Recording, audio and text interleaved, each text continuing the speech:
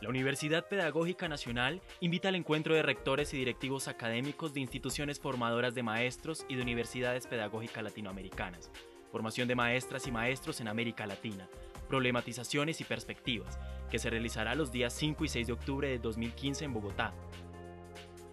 Se llevarán a cabo conferencias y paneles abiertos al público sobre la formación de maestros en América Latina, con investigadores de universidades nacionales e internacionales.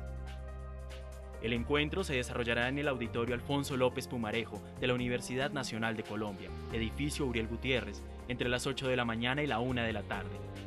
Previa inscripción en el sitio web www.maestrosamericalatina.pedagogica.edu.co desde el miércoles 16 de septiembre hasta el 3 de octubre. Apoya el Ministerio de Educación y la Universidad Nacional de Colombia, Universidad Pedagógica Nacional. 60 años comprometida con la formación de maestros para una Colombia en paz.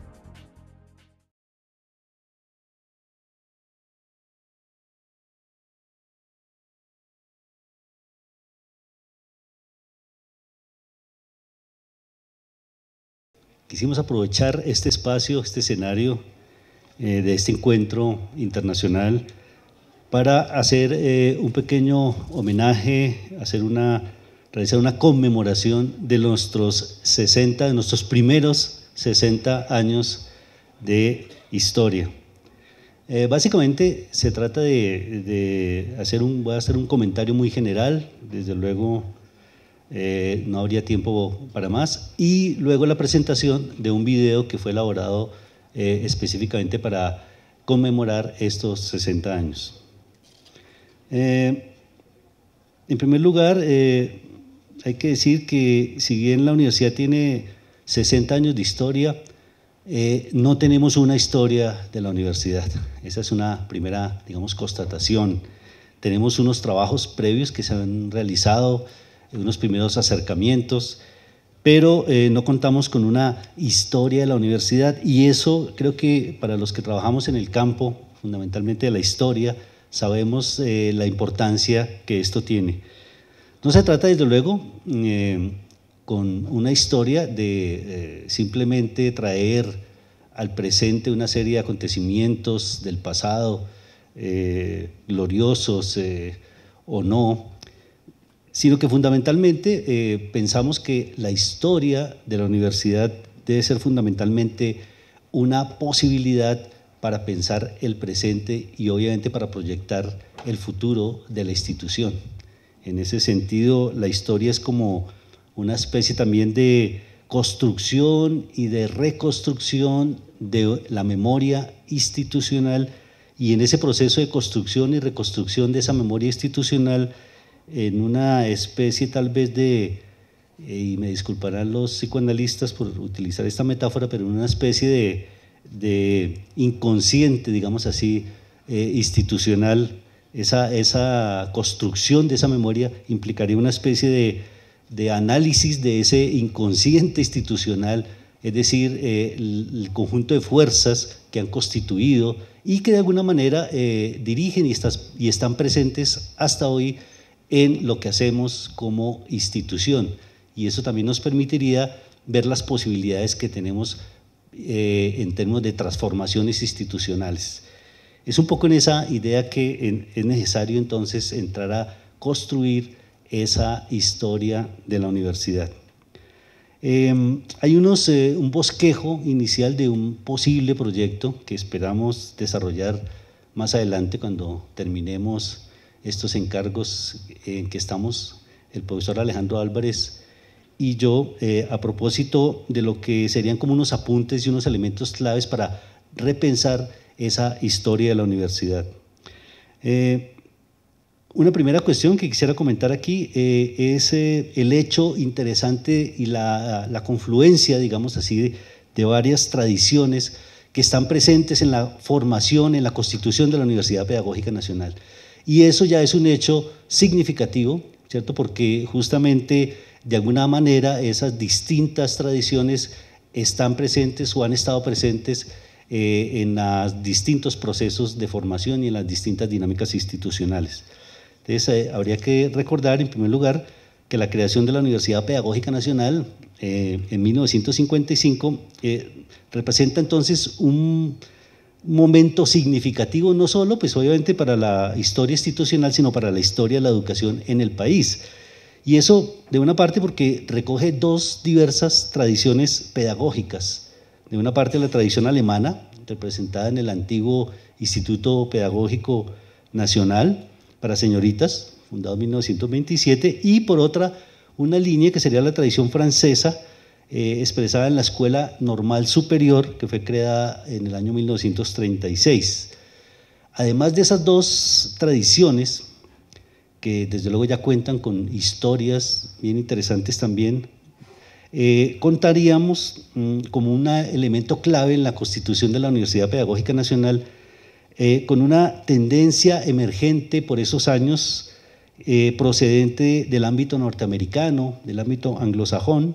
que comienza a cobrar fuerza después de la Segunda Guerra Mundial y que algunos colegas han llamado justamente eh, esa tendencia a los estudios sobre el desarrollo o el desarrollo como estrategia técnico-política.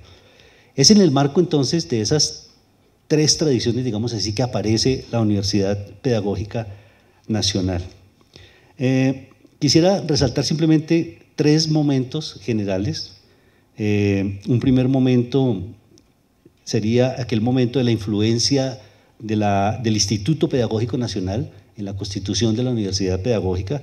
Desde luego, eh, la rectora, la primera rectora de la Universidad Pedagógica, la doctora Francisca Radke, había sido directora del Instituto Pedagógico Nacional, fundado en el 27. Ella fue eh, deportada para Alemania por efecto de, la, de la Segunda Guerra Mundial. Después fue nuevamente traída al país a liderar justamente la construcción de este nuevo proyecto de la Universidad Pedagógica Nacional.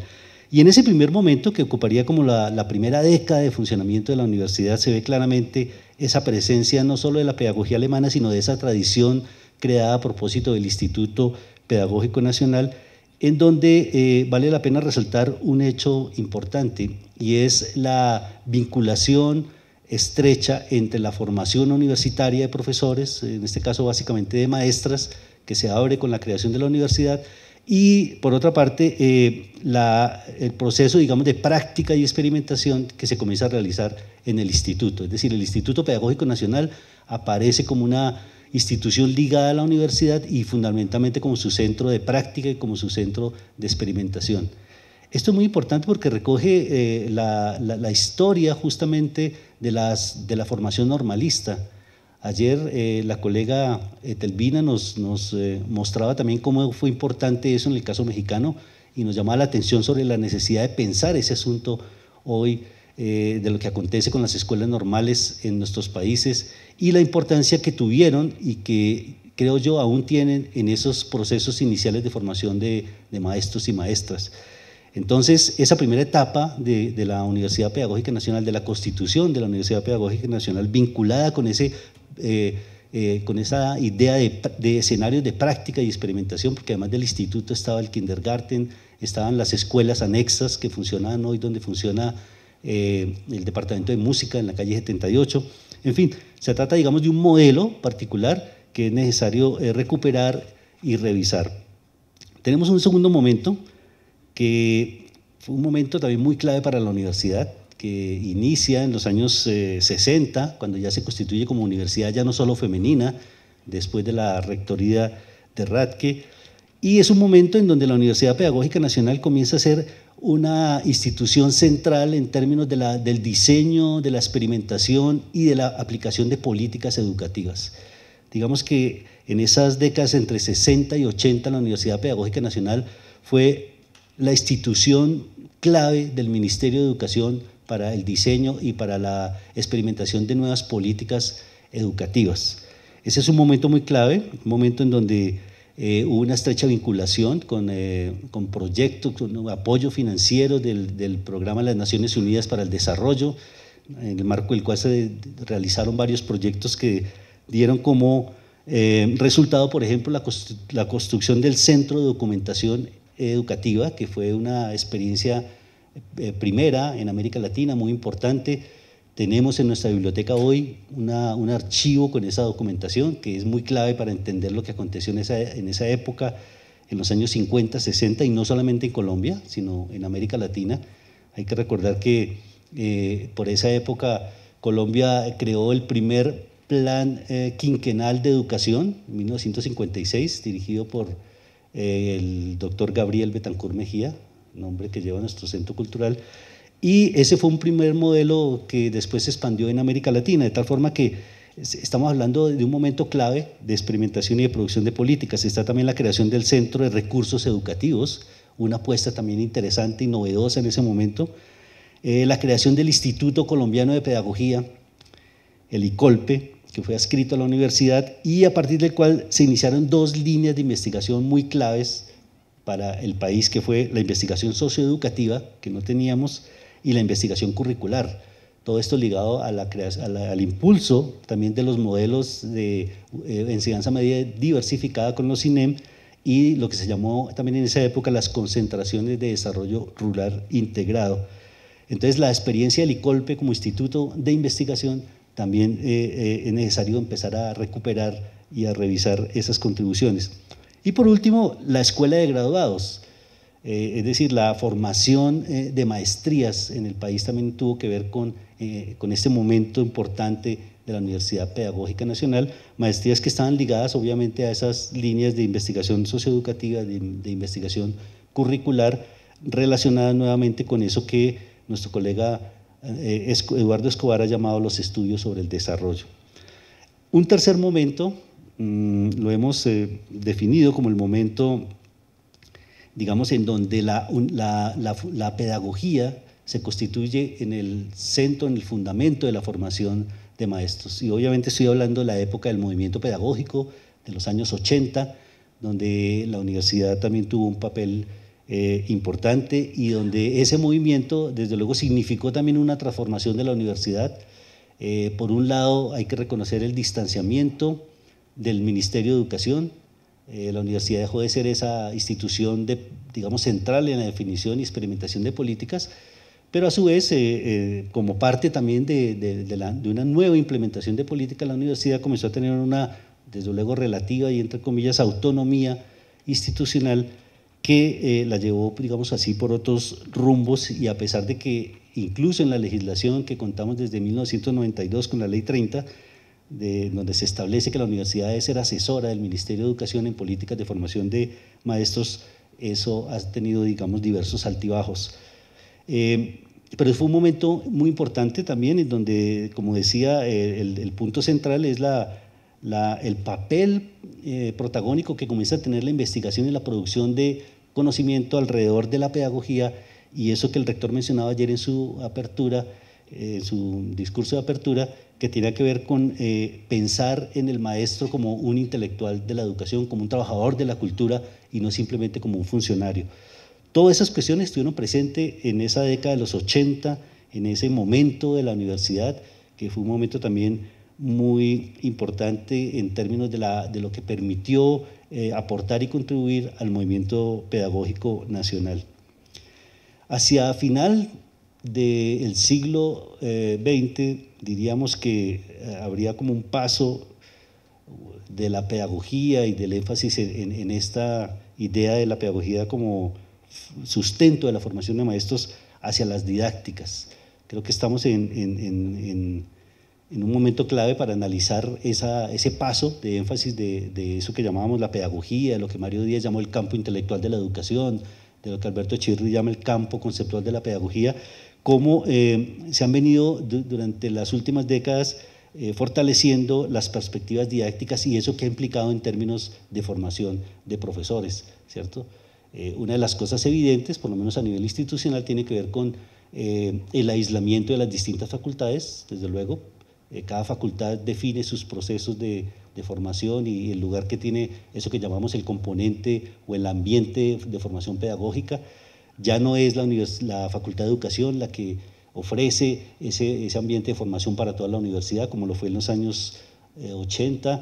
y en fin, es un momento entonces distinto que justamente habría que analizar. Yo creo que estamos en un momento clave. Me parece que esa, ese último periodo que analizaba eh, de la pedagogía como fundamento de la formación de profesores es un momento digamos que está en crisis y creo que estamos a puertas de crear una, de hacer un nuevo paso, ¿cierto? ¿Hacia dónde va la universidad pedagógica? Eso es un asunto que justamente nos está ocupando y nos debe ocupar durante los próximos años, entre otras cosas porque lo que hagamos aquí, lo que consigamos definir, lo que podamos hacer en términos de transformación de nuestra estructura institucional y en nuestras perspectivas y horizontes, eh, va a ser clave para la formación de maestros en el país, no solo para el, mantenimiento de la universidad pedagógica y su desarrollo, sino también para la formación de maestros en el país. De ahí que eh, espacios como este, que se ha creado, esta conversación, este encuentro, estas relaciones, la, la, apuesta por establecer lazos más fuertes con los colegas de América Latina, creo que es un, es un asunto clave y estratégico para la vida de nuestra institución y para la formación de maestros en el país. Bueno, eso es básicamente lo que quería comentarles, grosso modo, unos datos muy generales, pero creo que nos pueden servir para, para, repensar y para tener como referencia de lo que es la historia o lo que ha sido la historia de la Universidad Pedagógica. Pasamos enseguida entonces a ver un video que fue